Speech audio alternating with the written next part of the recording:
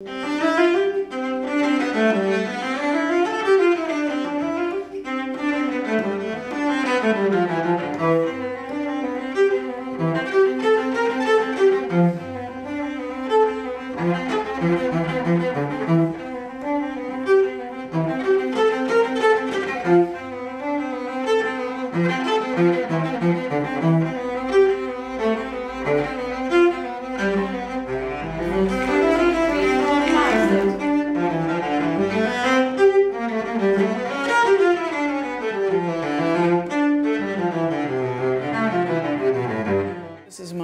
ancient copy, which as you see is pretty much falling apart because I've been using it for almost 50 years. Well, while I was playing the, the violin music, it occurred to me that a lot of the violin pieces are similar or kind of related to the cello ones because he wrote them around the same period of time, early 1720s.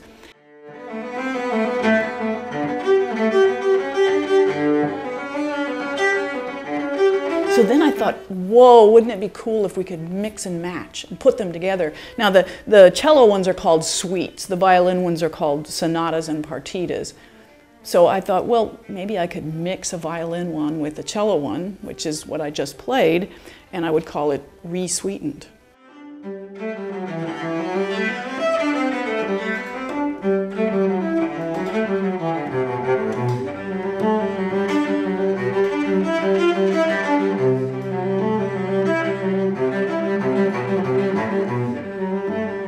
Just played a piece for Lucy, the, the choreographer, um, and she's the head of this company, Bowen McCauley Dancers. And she had taken these two different pieces by the same composer, and she combined them. And it was a, a work called Ozone. Yvonne uh, approached me about the project of doing this sort of mashup of Bach and transposing uh, a violin, is it a sonata? Yeah. Violin sonata um, to cello and you know lowering it an octave and playing it and then going right into um, the solo cello suite.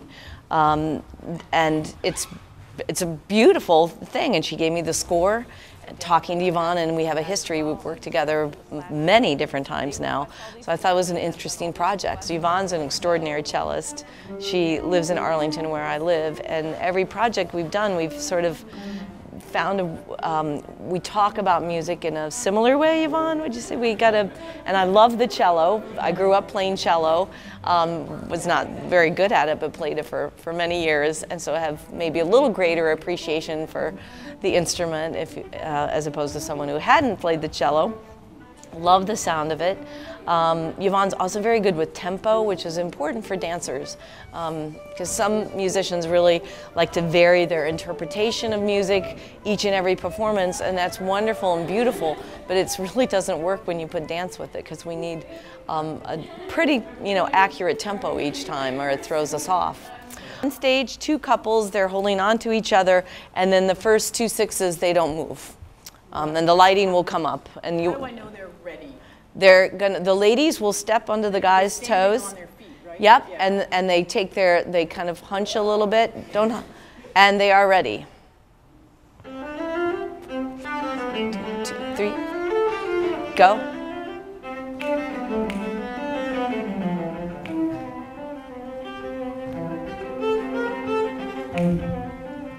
Good.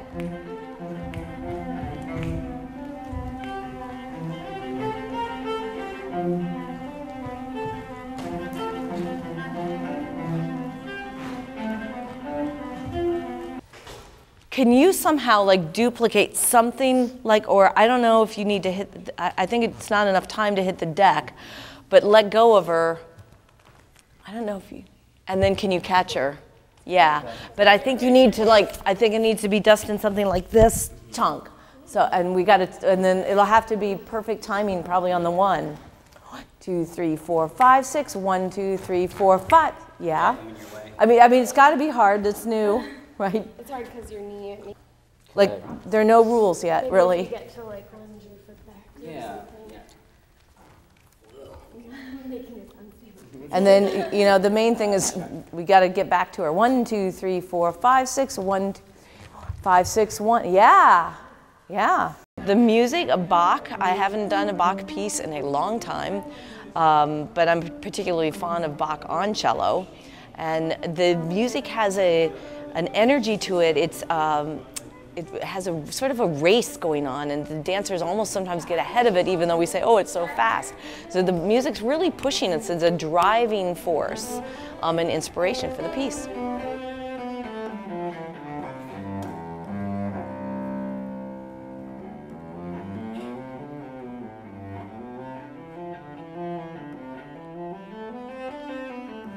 Yo-Yo had done something like that several years ago. He collaborated with the Mark Morris dancers.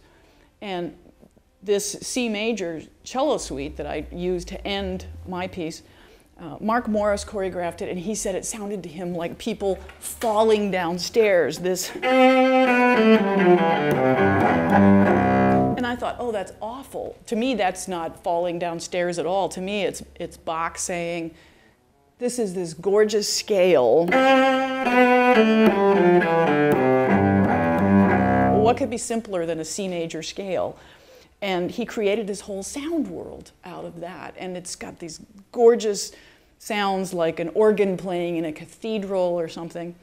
So to me, that whole image has always been wrong. And so I thought, well, maybe this would be a really interesting chance to see if we could change that image and combine some new music. And so that's how the project got going.